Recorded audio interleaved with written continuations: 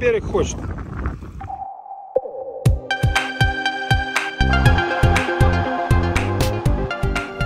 Все, давайте, отвоевывайте Каталину для Узбекистана.